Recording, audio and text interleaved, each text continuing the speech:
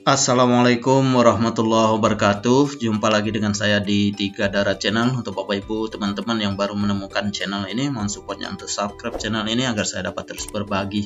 Karena biasa bagi kita bisa berarti besar bagi orang lain. Bapak Ibu teman-teman khususnya pengguna aplikasi Canva Kali ini saya akan berbagi tutorial Bagaimana caranya membuat tag efek atau efek teks bergaris tepi ya. Nah Bapak Ibu, Canva sudah mengupdate fitur terbarunya dengan tambahan uh, teks ya untuk apa efek teks garis tepi. Nah ini Bapak Ibu atau teman-teman bisa lihat ini contohnya yang sudah saya buat efek teks garis tepi marhabannya Ramadan ya. Nah ini yang kosong yang nanti kita praktekkan. Nah mungkin Bapak Ibu teman-teman uh, baru tahu juga bahwa uh, fitur efek garis tepi ini sudah ada di aplikasi Canva. Jujur saya baru saja tahu sehingga saya langsung membuatkan tutorial ini. Nah, caranya sama Bapak Ibu teman-teman uh, dengan kita uh, membuat teks uh, sebelum-sebelumnya ya. Klik tag kemudian efek. Nah, di sini sudah tersedia garis tepi ya. Kita tahu bahwa sebelumnya di Canva baru ada yang berongga yang bergaris tepi, tapi hasilnya bukan ses apa ya tidak sesuai dengan yang kita inginkan kadang ya. Nah, ini contohnya yang berongga.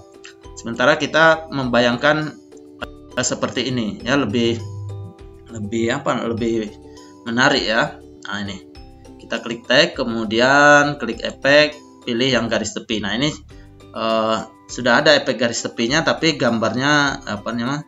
teksturnya tidak jelas karena kita belum mengatur. Nah, di sini Bapak Ibu teman-teman ada tulisan ketebalan. Nah ini bisa kita atur. Mau dipulkan boleh ya. Kemudian ini yang abu-abu ini adalah warna. Kita maunya warnanya apa? Nah misalnya seperti ini. Nah ya. Oke. Nah, kemudian kita contohkan lagi garis tepi. Kemudian kita tebalkan full nanti kita lihat hasilnya gimana ya. Untuk ketebalan ya sekali lagi terserah eh, Bapak Ibu atau teman-teman maunya seperti apa. Nah ini ya. Dan berbeda sekali dengan yang yang sudah uh, yang berongga ya.